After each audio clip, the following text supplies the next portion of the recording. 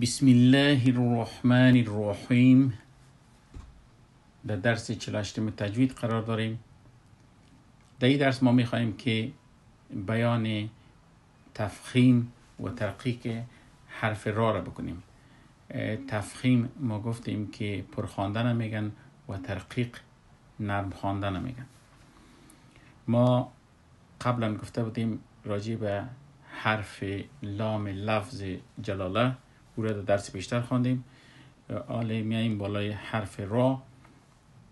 حرف را می‌تونه مفخم خوانده شوه می‌تونه نرم خوانده شوه و می‌تونه که ام نرم یا ام مفخم یا پرحجم خوانده شوه. این از خود شروط داره. ما تمام حروف را را در قرآن پر خوانده نمی‌تونیم و تمامش نرم خوانده نمی‌تونیم. و یا ای که رد و بدل خوانده نمی‌تونیم این از خود شروط داره که باید این شروطش بفهمیم. تفخیم را و ترقیق را بسیار یک درس طولانی است. ما آیسته آیسته کوشش می‌کنیم که یک و یک بیان کنیم. الحمدلله پیش میریم همونطور آیسته پیش میریم اما خدا میخواییم که بفهمانیم. ما فعلا حرف را را در حالت وقف در نظر می‌گیریم. وقف معنای ازی است وقتی که ما آیت می‌خوانیم در آخر آیت ما توقف می‌کنیم. وقف معنای ازی که توقف استاد شد خب. اینجا ما شرط چی داریم؟ هرگاه حرف را چی حرکت داشته باشه چی ساکن باشه در حالت وقف که قرار می‌گیره ای اتومات ساکن میشه و حرف ما قبلش دیده میشه که حرف ما قبلش چی است؟ حرف ما قبلش هرگاه فتحه بود و یا دمه داشت در حرکت او بالای حرف را تاثیر می‌کنه و حرف را را مفخم می‌سازه و یا ای که پرحجم ما باید تلفظش کنیم. و هرگاه فتحه و دمه نداشته باشه و کسره داشته باشه در کسره مورد نرم تلفظ می‌کنیم. به این خاطر ما مثال برای شما اینجا آوردیم. این مثال خوبتر ما بیان کرده می‌تونیم. فقط این مقدر می فکرتان باشه. حرف را در آخر آیات که میایه ارگاه آیت به حرف را توقف میشه. شما او را سکون می‌سازین. حرف ما قبلش باید متوجه باشین که او حرف چی است. اگر فتحه داشت یا دمه داشت پر حجم خوانده میشه اگر حرف ما قبل را کسره داشت او نرم خوانده میشه بازی که در کدام حالات اردویش ما می‌تونیم استفاده کنیم ایره باز پسان میاییم و تنها ما آل در در وقف رو در نظر گرفتیم. متوجه باشین این تقریبا 12 13 شروط داره. تنها ما فعلا وقفش در نظر گرفتیم. ما ایره یک بار سوره الکوثر می‌خوانم بر شما. شما متوجه باشین سعی کنین که ما در آخر حرف را را چی رقم مفخم می‌کنم.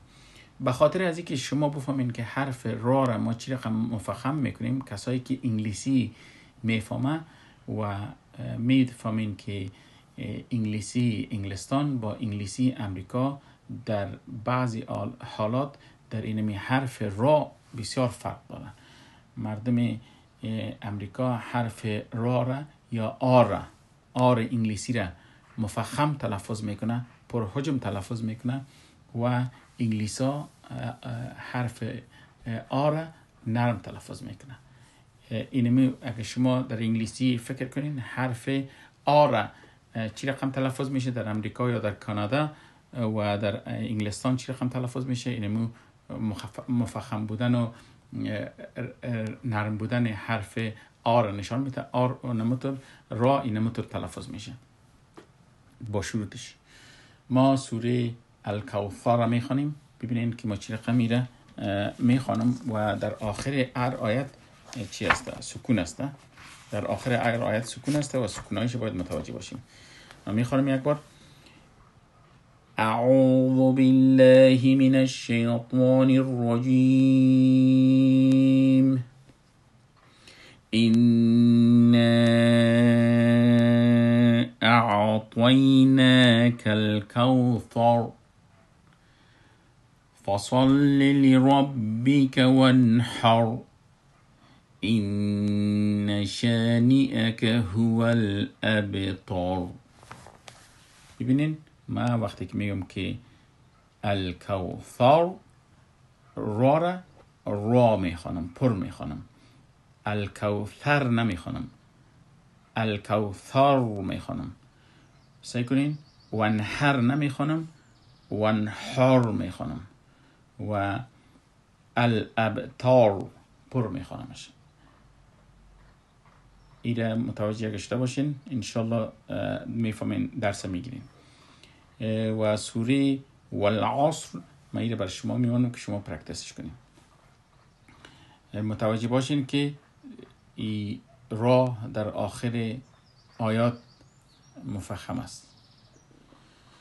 خب در صورت مثال که ما در صورتی که ما رابعه در آخر در وقف و قبل از او حروف یا حروف ساکن به یا یا حرف کسره به که حرف به که حرکتش کسره باشه او باز ما گفتیم که نرم خوانده میشه.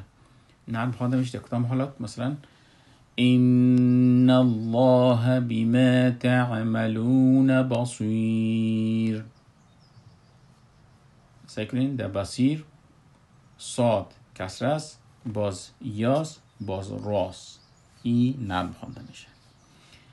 والله بما تعملون خبیر. را را خبیر نرم می‌خوانیم. خبیر نرم می‌خوانیم.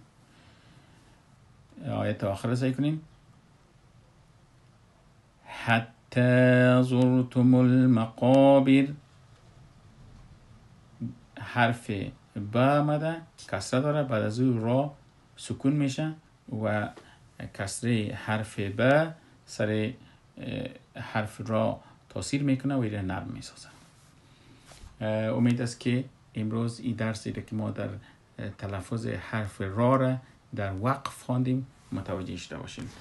و در آینده شما وقتی که سوره الکوثر را می‌خوانین متوجه باشین که ای در آخر ار آیت حرف را مفخم تلفظ میشه که بسیار مهم است که بفهمین. و کسی که نماز میته خصوصا نماز جماعت میته برای مردم این بسیار متوجه باشه که مقتدی در پشت می‌فهمه که این ملاسب تجوید می‌فهمه یا نمی‌فهمه. منتظم روی تلفظت می‌فهمه که حرف را را در آخر مفخم نکردی. ما یک بار دیگه چون وقت کلیپ ما کم است یک دقیقه مانده من دوباره بر شما می‌خوانم. متوجه باشین. إنا أعطيناك الكوثر فصل لربك وانحر. إن شانئك هو الأبتر. امید است که درس امروز شما گرفته باشین و پرکتس والعصر که به شما مانده این رو پرکتس بکنین. السلام عليكم ورحمة الله وبركاته